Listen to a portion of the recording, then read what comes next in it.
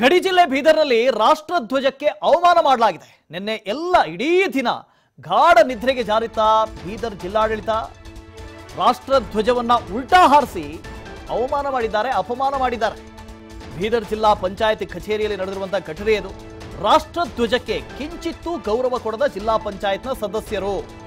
ಗಡಿ ಜಿಲ್ಲೆಯಲ್ಲಿ ದಿನೇ ದಿನೇ ಇಂತಹ ಘಟನೆಗಳು ಹೆಚ್ಚಾಗ್ತಾ ಇದೆ. ಒಮ್ಮೆ ಅಂತ ಆಗಿದ್ರೆ, ಅದು ಒಂದು ಐದು ನಿಮಿಷಕ್ಕೆ ಅಂತ ಹೇಳಿ ಆಗಿದ್ರೆ, ಏನೋ ಕಣ್ತಪ್ಪಿನಿಂದ ಆಗಿದೆ. ಗೊತ್ತಾಗಿಲ್ಲ ಇವರಿಗೆ ಅಂತ ಹೇಳಿ ಹೇಳ್ಬೋದು. ಆದ್ರೆ ಇದು ಮೊದಲನೇ ಘಟನೆ ಅಲ್ಲ. ಪದೇ ಪದೇ ಇಂಥದ್ದೇ ಘಟನೆಗಳು ನಡೀತಾ ಇದೆ. ಜೊತೆಗೆ ಇಡೀ ದಿನ ಇಡೀ ದಿನ ರಾಷ್ಟ್ರಧ್ವಜ ಉಲ್ಟಾಪಲ್ಟಾ ಹಾರಾಡಿದೆ ಅಂತ ಹೇಳಿದ್ರೆ ಒಬ್ಬರಿಗೂ ಗೊತ್ತೇ ಆಗ್ಲಿಲ್ವಾ? ಅಥವಾ ಯಾರಿಗೂ ರಾಷ್ಟ್ರಧ್ವಜದ ಬಣ್ಣ ಏನು ಅಂತ ಗೊತ್ತಿಲ್ವಾ? ಜಿಲ್ಲಾ ಪಂಚಾಯತ್ ಕಚೇರಿಗಳು, ತಾಲೂಕು ಪಂಚಾಯತ್ ಕಚೇರಿಗಳು ಜೊತೆಗೆ ಸಾರ್ವಜನಿಕ ಕಚೇರಿಗಳಲ್ಲಿ ದಿನ ಧ್ವಜವನ್ನ ಹಾರಾಟ ಮಾಡಬೇಕು, ರಾಷ್ಟ್ರ ಧ್ವಜವನ್ನ ಹಾರಿಸಬೇಕು ಅಂತ ಹೇಳಿ ನಿಯಮ ಇದೆ. ಹಾಗಾಗಿ ಬೆಳಗ್ಗೆ ಹಾರಿಸ್ತಾರೆ, ಸಾಯಂಕಾಲ ಅದನ್ನು ತೆಗೆದಿಡ್ತಾರೆ. ಮರುದಿನ ಮತ್ತೆ ಹೋಗಿ ಹಾರಿಸ್ತಾರೆ. ಒಂದಷ್ಟು ಸಿಬ್ಬಂದಿಗಳ ಹತ್ರ ಹೇಳಿರ್ತಾರೆ, ಹಾರಿಸಿ ಅಂತ ಹೇಳಿ. ಆದರೆ ಕಚೇರಿಯಲ್ಲಿ ಯಾವ ಧ್ವಜ ಹಾರಾಡ್ತಾ ಇದೆ ಅಂತ ಹೇಳಿ ನೋಡುವಂಥ ವ್ಯವಧಾನವೂ ಅಲ್ಲಿರುವಂಥ ಅಧಿಕಾರಿಗಳಿಲ್ವಾ? ರಾಷ್ಟ್ರ ಧ್ವಜಕ್ಕೆ ಅಪಮಾನವಾದರೂ ಕೂಡ ಯಾವುದೇ ಕ್ರಮ ಇಲ್ಲ. ಇಷ್ಟೆಲ್ಲ ಆದರೂ ಬೀದರ್ ಜಿಲ್ಲಾಡಳಿತ ಏನು ಮಾಡ್ತಾ ಇದೆ ಹಾಗಾದ್ರೆ? ನಿದ್ದೆಗೆ ಜಾರಿದ್ಯಾ? ನಿದ್ದೆ ಮಾಡ್ತಾ ಇದ್ದೀರಾ ನೀವೆಲ್ಲ? ಇಡೀ ದಿನ ಉಲ್ಟಾ ಹಾರಿದೆ ರಾಷ್ಟ್ರಧ್ವಜ. ಯಾರೋ ರಾಷ್ಟ್ರಧ್ವಜಕ್ಕೆ ಅವಮಾನ ಮಾಡೋದು ಅಂತ ಹೇಳಿದ್ರೆ ನಾವು ಪುಂಖಾನುಪುಂಖವಾಗಿ ಇಲ್ಲಿ ಭಾಷಣ ಮಾಡ್ತೀವಿ. ಆದರೆ ನಮ್ಮ ನಮ್ಮ ದೇಶದಲ್ಲಿ, ನಮ್ಮ ಸರ್ಕಾರಿ ಕಚೇರಿಗಳಲ್ಲಿ ಇರುವಂತಹ ಅಧಿಕಾರಿಗಳಿಗೆ ರಾಷ್ಟ್ರಧ್ವಜದ ಬಣ್ಣ ಯಾವುದು ಅಂತಲೇ ಗೊತ್ತಿಲ್ಲ. ಉಲ್ಟಾ ಪಟ ಹಾರಿಸಿದ್ದಾರೆ. ನೋಡಿ, ಅವ್ರು ನೋಡಿರ್ತಾರೆ. ಧ್ವಜ ಹಾರಿಸಿರೋದನ್ನ ನೋಡಿರ್ತಾರೆ. ಆಮೇಲೆ, ಏ, ಹೇಗೋ ಮಾಮೂಲಿ ಇದ್ದಂತೆ ಧ್ವಜ ಅಲ್ವಾ? ಇನ್ನೇನು ಬಣ್ಣ ಆ ಕಡೆ ಈ ಕಡೆ ಆದರೆ ಏನು? ನಮ್ಮದೇ ಧ್ವಜ ಅಲ್ಲ ಅಂತ ಹೇಳಿ ಹಾರಿಸಿರ್ತಾರೆ. ಅಂಥ ಲಜ್ಜೆಗೆಟ್ಟಂತ ನಾಚಿಕೆ ಕೇಳಿನ ಅಧಿಕಾರಿಗಳು ನಮ್ಮಲ್ಲಿದ್ದಾರೆ. ಬೀದರ್ ಜಿಲ್ಲಾ ಪಂಚಾಯತ್ ಕಚೇರಿಯಲ್ಲಿ ನಡೆದಿರುವಂತಹ ಘಟನೆ ಇದು. ಕಚೇರಿಯಲ್ಲಿ ಗಾಢ ನಿದ್ರೆಯಲ್ಲಿದ್ದಾರೆ ಅಧಿಕಾರಿಗಳು. ನೋಡಿ, ಕೇವಲ ಸಾರ್ವಜನಿಕರು ಹೋದ್ರೆ ಮಾತ್ರ ಗಾಢ ನಿದ್ರೆ ಅಲ್ಲ. ಅಲ್ಲಿ ಏನಾದ್ರೂ ಅವ್ರಿಗೆ ಗೊತ್ತೇ ಆಗೋದಿಲ್ಲ. ಯಾರಾದ್ರೂ ಬಾಂಬ್ ಇಟ್ಟು ಹೋಗ್ಲಿ ಗೊತ್ತೇ ಆಗೋದಿಲ್ಲ. ಅವ್ರು ಮಲ್ಕೊಂಡಿರ್ತಾರೆ. ಬೆಳಗ್ಗೆ ಹೋಗಿ ಸಾಯಂಕಾಲ ಪಾಪ ಒಂದು ಹತ್ತು ಗಂಟೆಗೆ ಹೋಗ್ತಾರೆ. ತಂಬು ಏನೋ ಇರುತ್ತೆ. ಆಫೀಸ್ನ ಒಳಗಡೆ ಹೋಗಿದ್ದೀನಿ ಅಂತ ಹೇಳಿ ಗೊತ್ತಾಗಬೇಕಷ್ಟೇ. ಅದಾದ್ಮೇಲೆ ಅವರು ಆಫೀಸಲ್ಲಿ ಇರೋದಿಲ್ಲ.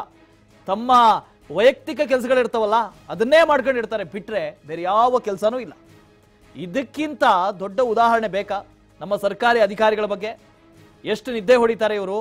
ಯಾವ ಗಾಢ ನಿದ್ರೆಯಲ್ಲಿ ಇರ್ತಾರೆ ಅಂತ ಹೇಳಿ ಇದಕ್ಕಿಂತ ಹೆಚ್ಚಿನದೇನಾದರೂ ಬೇಕೇನ್ರಿ? ನಾವು ಪದೇ ಪದೇ ಸರ್ಕಾರಿ ಅಧಿಕಾರಿಗಳ ಬಗ್ಗೆ ಯಾಕೆ ಮಾತಾಡ್ತೀವಿ ಅಂತ ಹೇಳಿದ್ರೆ ಅವ್ರ ಹಣೆ ಬರ ಇಷ್ಟು. ಒಂದಷ್ಟು ಜನ, ಒಂದು ಸಾವಿರದಲ್ಲಿ ಒಂದು ನೂರು ಜನ ಸಿಗ್ಬೋದು ನಿಮಗೆ. ಕೆಲಸ ಮಾಡೋಂಥವ್ರು ಅದನ್ನು ಬಿಟ್ಟರೆ ಬೇರೆ ಎಲ್ಲರೂ ಮಾಡೋದು ಇದನ್ನೇ. ಜಿಲ್ಲಾ ಪಂಚಾಯತಿನ ಅಧಿಕಾರಿಗಳ ಬೇಜವಾಬ್ದಾರಿ ಇದು. ಸಿಬ್ಬಂದಿ ಎಡವಟ್ಟಿನಿಂದ ಸಾರ್ವಜನಿಕರು ಆಕ್ರೋಶ ಹೊರ ಹಾಕ್ತಾ ಇದ್ದಾರೆ. ಯಾರೋ ಸಿಬ್ಬಂದಿ ಮಾಡಿರ್ತಾರೆ, ಎಡವಟ್ಟೆ ಅದು. ಏನು ಬೇಕು ಬೇಕು ಅಂತ ಹೇಳಿ ಉಲ್ಟಾಪಟ್ಟ ಹಾಕಬೇಕು ಅಂತ ಹೇಳಿ ಮಾಡಿರೋದಲ್ಲ.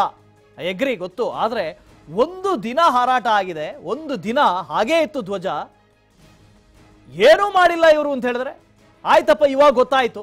ಉಲ್ಟಾ ಆರಿಸಿದ್ದಾರೆ ಏನು ಕ್ರಮ ಆಯಿತು? ಅವನ ಕರೆದೇನಾದರೂ ಬುದ್ಧಿವಾದ ಹೇಳಿದ್ರ? ಸಿಬ್ಬಂದಿಗೆ ಏನಾದರೂ ಮಾಡಿದ್ರ? ಇದು ರಾಷ್ಟ್ರಧ್ವಜ ಇದು. ಯಾವುದು ಸುಮ್ಮನೆ ಬಟ್ಟೆ ಒಣಗಾಕಿರೋದಲ್ಲ? ಅದನ್ನು ಮೊದಲು ತಿಳ್ಕೊಳ್ಳಿ ನೀವು. ನೀವೇ ಮರ್ಯಾದೆ ಕೊಡದೇ ಇದ್ರೆ ಇನ್ನು ಯಾವನೇ ಯಾಕೆ ಮರ್ಯಾದೆ ಕೊಡ್ತಾನೆ?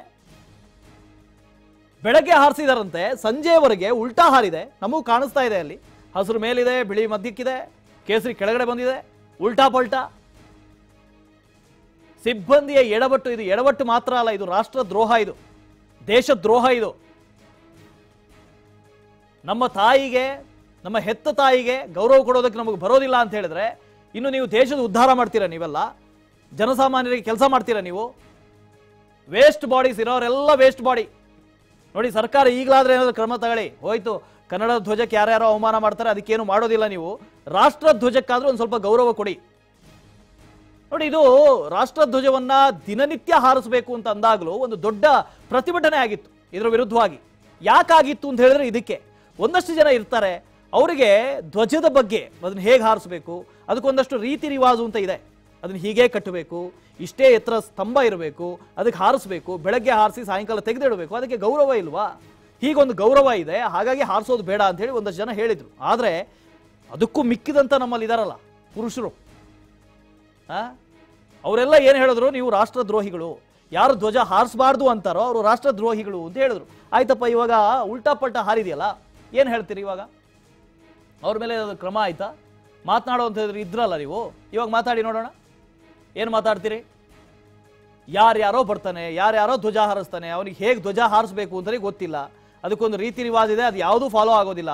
ಸುಮ್ಮನೆ ಒಂದು ಹಗ್ಗ ಕಟ್ಟಿ ಮೇಲಕ್ಕೆ ನೇತಾಡ್ಬಿಡ್ತಾರೆ, ಮುಗೀತಲ್ಲಿಗೆ. ಧ್ವಜ ಹಾರಿಸಿದೀವಿ ಅಂತ. ಇನ್ನು ಸಾಯಂಕಾಲ ಅವ್ನು ತೆಗಿತಾನೆ, ಅದು ಎಲ್ಲಿ ತಗೊಂಡೋಗಿ ಇಡ್ತಾನೋ, ಏನು ಕತೆನೋ ಗೊತ್ತಿಲ್ಲ. ನೋಡಿ, ಆ ಧ್ವಜವನ್ನ ಇಳಿಸಿದ ನಂತರ ಆ ಧ್ವಜವನ್ನು ಫೋಲ್ಡ್ ಮಾಡೋದಕ್ಕೂ ಒಂದು ರೀತಿ ರಿವಾಜ್ ಇದೆ. ಅದನ್ನು ಹಾಗೇ ಫೋಲ್ಡ್ ಮಾಡಬೇಕು ಅಂತ ಇದೆ. ಇದೆಲ್ಲವೂ ಕೂಡ ಸೆಟ್ ಆಫ್ ರೂಲ್ಸು ಗೊತ್ತಾಯ್ತಾ? ಇದನ್ನ ಯಾರು ಫಾಲೋನೇ ಮಾಡ್ತಾ ಇಲ್ವಲ್ಲ? ಯಾವ ಸರ್ಕಾರಿ ಕಚೇರಿಗಳಲ್ಲಿ ಫಾಲೋ ಮಾಡ್ತಾರೆ? ಇದು ಅವಮಾನ ಅಲ್ವಾ ಹಾಗಾದ್ರೆ? ರಾಷ್ಟ್ರ ಧ್ವಜಕ್ಕೆ ಮಾಡ್ತಾ ಇರುವಂಥ ಅವಮಾನ ಅಲ್ವಾ? ರಾಷ್ಟ್ರ ಧ್ವಜಕ್ಕೆ ಅವಮಾನ ಆಗಿದೆ ಅಂತ ಹೇಳಿದ್ರೆ ಅದು ನಮ್ಮ ರಾಷ್ಟ್ರಕ್ಕೆ ಅವಮಾನ ಆದಂತೆ. ಆದ್ರೆ ಅಧಿಕಾರಿಗಳು ಇನ್ನೂ ನಿದ್ದೆಯಲ್ಲಿದ್ದಾರೆ ಅಂತ ಹೇಳಿದ್ರೆ ಇದಕ್ಕಿಂತ ನಾಚಿಕೆಗೇಡಿನ ಸಂಗತಿ ಬೇರೆ ಇಲ್ಲ. ಇನ್ನು ಅವಿನಾಶ್ ಅವರು ಸಮಾಜ ಸೇವಕರು ಜೊತೆ ಮಾತನಾಡೋದಕ್ಕೆ ಸಿದ್ಧರಿದ್ದಾರೆ ಅವಿನಾಶ್ ಅವರೇ ನಮಸ್ತೆ. ನಮಸ್ಕಾರ ಸರ್. ಸರ್ ನಾವು ದೇಶ ವಿರೋಧಿಗಳು ದೇಶ ವಿರೋಧಿಗಳು ಅಂತ ಹೇಳಿ ಬಡ್ಕೊಳ್ತಾ ಇದೀವಿ ಒಂದಷ್ಟು ಜನ ನಮ್ಮಲ್ಲಿರುವಂತಹ ಜನಪ್ರತಿನಿಧಿಗಳು ಕೂಡ ಹಾಗೆ. ದೇಶದ ವಿರುದ್ಧವಾಗಿ ಯಾರಾದರೂ ಮಾತಾಡಿದ್ರೆ ಮುಗದೇ ಹೋಯ್ತು. ಅದು ಸರ್ಕಾರದ ವಿರುದ್ಧ ಯಾರಾದರೂ ಮಾತಾಡಿದ್ರೆ ಮುಗದೇ ಹೋಯ್ತು. ಅವನು ದ್ವೇಷ ದೇಶ ವಿರೋಧಿ ಅವನು ಅಂತ. ಇಲ್ಲಿ ನೋಡಿದ್ರೆ ರಾಷ್ಟ್ರ ಧ್ವಜನೇ ಉಲ್ಟಾ ಹಾರಾಡ್ತಾ ಇದೆ. ಒಬ್ಬ ಅಧಿಕಾರಿಗೂ ನಮ್ಮಲ್ಲಿ ಅಕಲ್ ಅಂತ ಕರಿತೀವಿ. ಅಕಲ್ ಇಲ್ವಾ ಅವ್ರ ಹತ್ರ? ಸರ್ ಏನಿಲ್ಲ. ಅವರು ಸರ್ಕಾರ ಯಾರು ನಡೆಸ್ತಾ ಗೊತ್ತಿಲ್ಲ. ದೇಶದ್ರೋಹಿಗಳು ನಮಗ್ ಅಂತಿದಾರಲ್ಲ ಸರ್? ಸಂಪೂರ್ಣ ಹೇಳ್ಬೇಕಂದ್ರೆ ದೇಶದ್ರೋಹಿಗಳು ಅವರೇ. ಇಲ್ಲಿ ನೀವು ಸೋರ್ ಸಚಿವರು ಇದ್ದಾರ ತಿಂಗಳೆಲ್ಲ ಒಂದ್ ಸರ್ನು ಇಲ್ಲಿ ವಿಸಿಟ್ ವಿಸಿಟ್ ಮಾಡಲ್ಲ ಬಿದರ್ನಲ್ಲಿ. ಅಲ್ಲಿ ಅಧಿಕಾರಿಗಳು ಏನಿರ್ತಾರೆ ಜಿಲ್ಲಾ ಪಂಚಾಯತ್ ಅಲ್ಲಿ ಸಂಪೂರ್ಣ ಅಧಿಕ ಆ ಅಧಿಕಾರಿಗಳ ಮೇಲೆ ಕೇಳಂತ ಸಿಬ್ಬಂದಿಗಳ ಮೇಲೆ ಹಿಡಿತಾನೆ ಇಲ್ಲ. ಈಗ ಅಲ್ಲಿಂದ ಏನಿರುತ್ತೆ ಬಿದರ್ ಜಿಲ್ಲೆಯಲ್ಲಿ ಸಂಪೂರ್ಣ ಹೇಳ್ಬೇಕಂದ್ರೆ ಇಡೀ ಈ ಹಿಂದೆನು ಬೀದರ್ನ ಕೆಲವು ಗ್ರಾಮ ಪಂಚಾಯತ್ಗಳಲ್ಲೂ ಧ್ವಜ ರಾಷ್ಟ್ರ ಕೆಳಗೆ ಹಾಕ್ತಿದ್ರು ಆ ಪ್ರಕರಣಕ್ಕೆ ನಾವು ಮೇಲಧಿಕಾರಿ ಗಮನದವರು ಏನಾಗಿಲ್ಲ ಕ್ರಮ ಆಗಿದಿಲ್ಲ ಈಗ ಸಂಪೂರ್ಣ ಹೇಳ್ಬೇಕಂದ್ರೆ ಜಿಲ್ಲಾ ಪಂಚಾಯತ್ ಕಚೇರಿಯಲ್ಲೇ ಉಲ್ಟಾ ಆಗ್ಯದಂದ್ರ ಅದು ಖಂಡನೆ ವಿಷಯ ಸರ್. ಇದು ಏನ್ ಮಾಡ್ತಾರೆ ಅಲ್ಲಿನ ಅಧಿಕಾರಿ ಜಿಲ್ಲಾ ಪಂಚಾಯತ್ ಸಿಒರಾಗ್ಲಿ ಜಿಲ್ಲಾಡಳಿತ ಆಗ್ಲಿ ಏನ್ ಮಾಡ್ತಾ ಇದೆ ಒಬ್ಬರ ಇಲ್ಲಿ ಸಚಿವರಾಗ್ಲಿ ಉಸ್ತುವಾರಿ ಸಚಿವರನ್ನ ನಾವು ರಾಯಚೂರು ಉಸ್ತುವಾರಿ ಸಚಿವರಿಗೆ ಕೊಟ್ಟಿದಾರ ಓಕೆ. ಅವ್ರಲ್ಲಿ ಬರಲ್ಲ. ಒಂದು ಏನು ಇಲ್ಲಿ ನಮ್ಮ ಅಧಿಕಾರಿಗಳ ಮೇಲೆ ಇಲ್ಲಿ ಜನಪ್ರತಿನಿಧಿಗಳು ಒಂದ್ಸತಿ ಎರಡು ಸತಿ ಓಕೆ. ಏನೋ ಕಣ್ತಪ್ಪಿನಿಂದ ಆಗಿರುತ್ತೆ ಅಂತ ಹೇಳಿ ತಿಳ್ಕೊಂಡ್ಬಿಡೋಣ. ಬೆಳಗ್ಗೆ ಹಾಸಿರೋದು ಸಾಯಂಕಾಲದವರೆಗೆ ಯಾರಿಗೂ ಗೊತ್ತೇ ಆಗ್ಲಿಲ್ವಾ? ಒಬ್ಬನೇ ಒಬ್ಬ ಅಧಿಕಾರಿ ಗೊತ್ತಾಗ್ಲಿಲ್ವಾ? ಅದೇ ನಾವು ಹೇಳ್ತಾ ಇದ್ವಿ ನೋಡಿ ಸರ್ಕಾರಿ ಅಧಿಕಾರಿಗಳು ಸರ್ಕಾರಿ ಕಚೇರಿಯಲ್ಲಿ ಇರೋದಿಲ್ಲ ಅವ್ರ ಮನೇಲಿ ಇರ್ತಾರೆ ಅಂತ. ಇಲ್ಲೂ ಅಧಿಕಾರಿಗಳು ನಿದ್ದೆಯಲ್ಲಿದ್ದಾರ ಅಂತ? ಸರ್ ಸರ್ಕಾರ ಇದ್ರೆ ಐತಲ್ರ ಸರ್? ಬೀದರ್ ಸರ್ಕಾರ ಇಲ್ದಂಗ ಆಗ್ಯದ ಸರ್. ಆ ಇವರು ಬೆಳಗ್ಗೆ ಸಾಯಂಕಾಲ ಅಲ್ಲೇ ಆಫೀಸ್ ನಲ್ಲೇ ಕೂಡ್ತಾರೆ ಖರೆ ಒಂದು ಯಾರು ಜವಾಬ್ದಾರಿ ಕೊಟ್ರ ಆ ಅಧಿಕಾರಿ ನೋಡ್ಬೇಕಿತ್ತಾರಲ್ಲಿ ಓಕೆ ಓಕೆ ಓಕೆ. ಶಾಸಕರು ಈಶ್ವರ್ ಖಂಡ್ರೆ ಅವರ ಜೊತೆ ಜಾಯ್ನ್ ಆಗ್ತಾರೆ ಸರ್ ನಮಸ್ತೆ. ಹಲೋ ಸರ್ ನಮಸ್ತೆ. ನಮಸ್ತೆ. ಸರ್ ಜಿಲ್ಲಾ ಕಚೇರಿಯಲ್ಲಿ ಬೀದರ್ನಲ್ಲಿ ರಾಷ್ಟ್ರಧ್ವಜನೆ ಉಲ್ಟಾ ಹಾರಾಡ್ತಾ ಇದೆ. ನಾವು ಯಾರಾದ್ರೂ ಸರ್ಕಾರದ ವಿರುದ್ಧವಾಗಿ ಮಾತನಾಡ್ಬಿಟ್ರೆ ಸರ್ಕಾರ ತಪ್ಪು ಮಾಡ್ತಾ ಇದೆ ಅಂತ ಹೇಳಿದ್ರೆ ನಾವು ದೇಶದ್ರೋಹಿಗಳು ರಾಷ್ಟ್ರದ್ರೋಹಿಗಳು. ದ್ರೋಹಿಗಳು ನೋಡಿದ್ರೆ ರಾಷ್ಟ್ರ ಧ್ವಜನೆ ಉಲ್ಟಾ ಬಲ್ಟಾ ಹಾರಾಡ್ತಾ ಇದೆ. ಇವ್ರಿಗಿಂತ ದ್ರೋಹಿಗಳು ಬೇಕಾ? ಈಗ ರಾಷ್ಟ್ರ ಧ್ವಜಕ್ಕೆ ಎಸ್ ಅವಮಾನ ಮಾಡುವಂತದ್ದು ಅಕ್ಷಮ್ಯವಾದಂತ ಒಂದು ಅಪರಾಧ. ಹೌದು. ಅದು ಇವ್ರ ಗಮನಕ್ಕೆ ಬಂದ ಮೇಲಾದ್ರೂ ಇದನ್ನು ಸರಿಪಡಿಸುವಂತ ಒಂದು ಕೆಲಸ ಇವರು ಮಾಡ್ಬೇಕಾಗಿತ್ತು. ಆದ್ರೆ ಇವ್ರ ನಿಷ್ಕಾಳಜಿ ಬೇಜವಾಬ್ದಾರಿ ತೋರಿಸ್ಕೊಡ್ತದೆ ಇದು ಖಂಡನೀಯವಾಗಿದೆ. ಇದನ್ನು ಖಂಡಿಸ್ತಾನೆ. ಯಾರಕ್ಕೆ ಜವಾಬ್ದಾರ ಇದ್ದಾರೆ ಇದ್ರ ಬಗ್ಗೆ ತನಿಖೆ ಮಾಡಿ. ಕಾನೂನು ರೀತಿಯ ಕ್ರಮ ತೆಗೆದುಕೊಳ್ಬೇಕು ಅಂತ ಹೇಳಿ ಒತ್ತಾಯ ಮಾಡ್ತಾರೆ. ಎಸ್ ನೋಡಿ ನಮ್ಮ ನಮ್ಮ ಸರ್ಕಾರದವರು ಹೇಳ್ತಾರೆ ಸಚಿವರು ಹೇಳ್ತಾರೆ ನಾವು ದೇಶಭಕ್ತರು. ದೇಶಭಕ್ತಿ ಬಿಟ್ರೆ ಬೇರೆ ಏನು ಗೊತ್ತಿಲ್ಲ. ಇದು ಯಾವ ಸೀಮೆ ದೇಶಭಕ್ತಿ ಇದು? ನೋಡಿ ಬಿಜೆಪಿಯವರು ಇವರು ಹುಸಿ ರಾಷ್ಟ್ರ ಭಕ್ತರು ಇವರು ಬರೀ ಇವತ್ತು ರಾಷ್ಟ್ರ ಸ್ವಾರ್ಥಕ್ಕಾಗಿ ಅಧಿಕಾರಕ್ಕಾಗಿ ಇವತ್ತು ದೇಶಭಕ್ತ ಅಂತ ಹೇಳುವಂತದ್ದು ಇವ್ರು ಹಿಂದೆ ಏನ್ ಮಾಡಿದ್ದಾರೆ ಮುಂದೆ ಏನ್ ಮಾಡ್ತಾರೆ ಯಾವ್ದ್ರ ಬಗ್ಗೆನು ಏನೆಲ್ಲ ಇಡೀ ದೇಶವನ್ನು ಹಾಳು ಮಾಡುವಂತ ಕೆಲಸ ನಡೀತಾ ಇದೆ. ಹೀಗಾಗಿ ಜನ ಮರಳಾಗಬಾರ್ದು ಇವರ ನಿಜವಾದಂತ ಬಣ್ಣ ಬಯಲಾಗ್ತಾ ಇದೆ. ಜನ ಅರ್ಥ ಮಾಡಿಕೊಂಡು ಮುಂಬರುವಂತ ದಿನಮಾನಗಳಲ್ಲಿ ಅವರಿಗೆ ಪಾಠ ಕಲಿಸ್ ಕಲಿಸ್ತಾರೆ ಅನ್ನುವಂತ ಒಂದು ವಿಶ್ವಾಸ ನಮ್ಮ ಸರ್ಕಾರಕ್ಕೆ ಅಧಿಕಾರಿಗಳ ಬಗ್ಗೆ ಒಂದು ಚೂರು ಕಂಟ್ರೋಲ್ ಅನ್ನುವಂಥದ್ದೇ ಇಲ್ಲ. ಅಧಿಕಾರಿಗಳು ಏನ್ ಮಾಡ್ತಾ ಇದಾರೆ ಕಚೇರಿಗೆ ಬರ್ತಾ ಇದಾರೋ ನಿದ್ದೆ ಹೊಡಿತಾ ಇದಾರೋ ಆಹಾ ಇಲ್ಲವೇ ಇಲ್ಲ. ನಾನು ದಿನಂಪ್ರತಿ ಒಂದು ನಾಲ್ಕು ಸ್ಟೋರಿಗಳನ್ನ ಇದ್ರ ಮೇಲೆ ಮಾಡ್ತಾ ಇದೀವಿ ಈ ಸರ್ಕಾರಿ ಅಧಿಕಾರಿಗಳ ಆಡಳಿತ ಯಂತ್ರ ಸಂಪೂರ್ಣವಾಗಿ ಕುಸಿದು ಹೋಗಿದೆ. ಎಸ್ ವರ್ಗಾವಣೆ ಒಂದು ದಂಧೆ ಆಗಿದೆ. ಹ್ಮ್. ಇವತ್ತು ಅದರಲ್ಲಿ ಪ್ರತಿಯೊಂದರಲ್ಲಿ ಕಾಮಗಾರಿ ತೆಗೆದುಕೊಳ್ಳ್ರಿ ನೇಮಕಾತಿ ತೆಗೆದುಕೊಳ್ಳ್ರಿ ವರ್ಗಾವಣೆ ತೆಗೆದುಕೊಳ್ಳ್ರಿ ಪ್ರತಿಯೊಂದರಲ್ಲೂ ನಲ್ವತ್ತು ಪರ್ಸೆಂಟ್ ಕಮಿಷನ್ ತೆಗೆದುಕೊಂಡ ನಂತರ ಯಾವ ಅಧಿಕಾರಿಗಳು ಯಾವ ರೀತಿಯಲ್ಲಿ ಆಡಳಿತ ಕೊಡ್ಲಿಕ್ಕೆ ಸಾಧ್ಯ ಇದೆ? ಯಾರು ಇವರ ಒಂದು ಕಂಟ್ರೋಲ್ ಅಲ್ಲಿ ಆಡಳಿತ ಚೆನ್ನಾಗಿ ಮಾಡ್ಲಿಕ್ಕೆ ಯಾರು ಬರ್ತಾರೆ? ದುಡ್ಡು ಕೊಟ್ಟು ಬರ್ತಾರೆ ದುಡ್ಡು ಮಾಡ್ಕೊಂಡು ಹೋಗ್ತಾರೆ. ಅಷ್ಟೇ ಶ್ರೀ ಸಾಮಾನ್ಯ ಇವತ್ತು ಕಷ್ಟ ಅನುಭವಿಸ್ತಾನೆ. ಇವತ್ತಿಡೀ ಇವತ್ತು ಇಡೀ ರಾಜ್ಯ ಇವತ್ತು ಬಹಳ ಒಂದು ಒಂದು ರೀತಿಯಲ್ಲಿ ಕೌಲು ದಾರಿಯಲ್ಲಿದೆ. ನಾವು ನೋಡ್ತಾ ಇದ್ದೇವೆ. Yes yes yes yes okay thank you thank you sir ನೋಡಿ ಅಧಿಕಾರಿಗಳ ನಿರ್ಲಕ್ಷ್ಯ ಎಷ್ಟ್ರ ಮಟ್ಟಿಗಿದೆ ಅಂತ ಹೇಳಿ ಇದರಲ್ಲೇ ಗೊತ್ತಾಗ್ತಾ ಇದೆ. ಒಂದು ಕಡೆ ಅಧಿಕಾರಿಗಳು ಕಚೇರಿಯ ಒಳಗಡೆನೂ ಇರೋದಿಲ್ಲ ಹೊರಗಡೆನೂ ಇರೋದಿಲ್ಲ. ಅವರಿಗೆ ಕಚೇರಿಯಲ್ಲಿ ಏನು ಆಗ್ತಾ ಇದೆ ಅನ್ನುವಂಥದ್ದೇ ಗೊತ್ತಿಲ್ಲ. ಸಾರ್ವಜನಿಕರ ಕೆಲಸ ಮಾಡೋದು ಬಿಡಿ. ಇಂಥ ಒಂದು ಸಣ್ಣ ಪುಟ್ಟ ಕೆಲಸ ಮಾಡೋದಕ್ಕೆ ಇವ್ರ ಕೈಯಲ್ಲಿ ಆಗ್ತಾ ಇಲ್ಲ. ಅಲ್ಲ ಸ್ವಾಮಿ ಇದು ನಿರ್ಲಕ್ಷ್ಯ. ಇಡೀ ರಾಷ್ಟ್ರಧ್ವಜವನ್ನೇ ಉಲ್ಟಾ ಉಲ್ಟಾಪಟ್ಟ ಹಾರಿಸಿದ್ದಾರೆ. ಏನಾದರೂ ಕ್ರಮ? ಆಹಾ, ಇಲ್ವೇ ಇಲ್ಲ. ಕ್ರಮನೇ ಇಲ್ಲ ಅವ್ರಿಗೆ ಗೊತ್ತೇ ಇರೋದಿಲ್ಲ. ಇವಾಗ ಹೋಗಿ ಕೇಳಿ, ಹೀಗಾಗಿದೆ ಅಂತ. ಇಲ್ಲ ಸ್ವಾಮಿ ಎಲ್ಲ ಆಗಿದೆ ನಮ್ಗೆ ಗೊತ್ತೇ ಇಲ್ವಲ್ಲ ಅಂತಾರೆ. ಯಾಕಂದ್ರೆ ಅವ್ರ ಕಚೇರಿಯಲ್ಲಿ ಇದ್ರೂ ಕೂಡ ಅವ್ರ ಮನಸ್ಸು ಕಚೇರಿಯಲ್ಲಿ ಇರೋದಿಲ್ಲ. ಅದೆಲ್ಲೋ ಹೊರಗಡೆ ಓಡಾಡ್ತಾ ಇರ್ತವೆ. ಫೋರ್ಟಿ ಪರ್ಸೆಂಟ್ ಕಮಿಷನ್ನು, ಇಪ್ಪತ್ತು ಪರ್ಸೆಂಟ್ ಕಮಿಷನ್ನು, ಅದೆಲ್ಲೋ ಕಾಪಿ ಹೊಡೆದು ಬರೆದಿರ್ತಾರೆ ಒಂದಷ್ಟು ಜನ. ಒಂದಷ್ಟು ಜನ ಅಧಿಕಾರಿಗಳು, ಶಾಸಕರ, ಅವರು ಇವರ ಕಾಲು ಹಿಡ್ಕೊಂಡು ಬಂದಿರ್ತಾರೆ. ಇಂಥವ್ರು. ಇನ್ನು ಇವರಿಂದ ಏನನ್ನ ಅಪೇಕ್ಷಿಸ್ಬೋದು ನಾವು? ಇವ್ರು ಏನು ಮಾಡ್ತಾರೆ?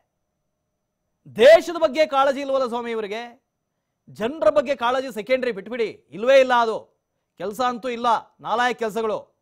ಆದರೆ ಕನಿಷ್ಠ ಪಕ್ಷ ದೇಶಭಕ್ತಿ. ಅದೂ ನಿಲ್ವಲ್ಲ ಇವರಿಗೆ? ಇನ್ನು ಜನಸಾಮಾನ್ಯರಿಗೆ ಎಂಥ ಕೆಲಸ ಮಾಡ್ತೀರಿ ನೀವೆಲ್ಲ? ಅಧಿಕಾರಿಗಳ ಬಗ್ಗೆ ಕ್ರಮ ತೆಗೆದುಕೊಳ್ಬೇಕಾದಂತಹ ಜನಪ್ರತಿನಿಧಿಗಳು, ಅವರು ಎಲ್ಲಿ ಹಾಳಾಗೋಗಿದಾರೋ ಗೊತ್ತಿಲ್ಲ.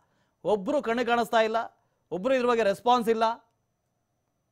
ಮಾತೆತ್ತಿದ್ರೆ ದೇಶಭಕ್ತಿ ದೇಶಭಕ್ತಿ. ಯಾವ ಸೀಮೆ ದೇಶಭಕ್ತಿನೂ ಗೊತ್ತಾಗ್ತಾ ಇಲ್ಲ. ನೀವು ದೇಶಭಕ್ತಿನ ಹೇಗೆ ತೋರಿಸ್ತಾ ಇದ್ದೀರಿ ನೀವು?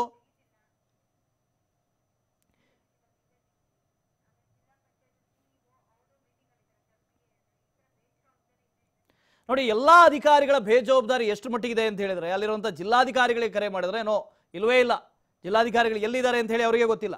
ಇನ್ನೊಂದು ಕಡೆ ಜಿಲ್ಲಾ ಪಂಚಾಯತಿಯ ಸಿಇಒ ಅವರು ಕರೆ ಮಾಡಿದ್ರೆ ನಾ ಮೀಟಿಂಗಲ್ಲಿದ್ದೀನಿ ಆಮೇಲೆ ಮಾಡ್ತೀನಿ, ಇನ್ನೊಮ್ಮೆ ಮಾಡ್ತೀನಿ. ನೋಡಿ ಎಂಥ ನಿರ್ಲಕ್ಷ್ಯಗಳು ಈ ದಿವ್ಯ ನಿರ್ಲಕ್ಷ್ಯ ಅಂತೀವಲ್ಲ. ಈ ದಪ್ಪ ಚರ್ಮದ ಅಧಿಕಾರಿಗಳು ಎಮ್ಮೆ ಚರ್ಮದ ಅಧಿಕಾರಿಗಳು, ನಿರ್ಲಜ್ಜ ಅಧಿಕಾರಿಗಳು, ಇವಾಗ ಮಾನ ಮರ್ಯಾದೆ ಇಲ್ಲದೇ ಇರುವಂಥ ಅಧಿಕಾರಿಗಳು ಇನ್ನು ಏನು ಹೇಳಬೇಕು ಇವರಿಗೆ? ಇನ್ನೇನಾದರೂ ಪದಗಳು ಉಳಿದಿದಾವ? ಜನಸಾಮಾನ್ಯರು ನೀವೇ ಬೈಬೇಕಷ್ಟೇ. ನಮ್ಮಲ್ಲಿ ಬೈಯೋದಕ್ಕೆ ಸಾಧ್ಯವೇ ಇಲ್ಲ. ಅಂಥ ಪದಗಳನ್ನು ಬಳಸ್ಕೊಂಡು ಇವ್ರಿಗೆ ಬೈಬೇಕು. ಆದ್ರೂ ಆಹಾ, ನೋ ರೆಸ್ಪಾನ್ಸ್. ಇನ್ನು ಸರ್ಕಾರ ನಮ್ಮ ಅಧಿಕಾರಿಗಳು ಎರಡು ಸರಿಯಾಗಿದ್ದಾರೆ. ಅಧಿಕಾರಿಗಳಿಗೆ ಬೇಕಾದ ರೀತಿಯಲ್ಲಿ ನಮ್ಮ ಸರ್ಕಾರ, ಸರ್ಕಾರಕ್ಕೆ ಬೇಕಾದಂಥ ಅಧಿಕಾರಿಗಳು. ಸೊ ನೀನು ಹೇಗಿರ್ತೀಯೋ ನಾನು ಹಾಗೆ ಇರ್ತೀನಿ ಅಂತ.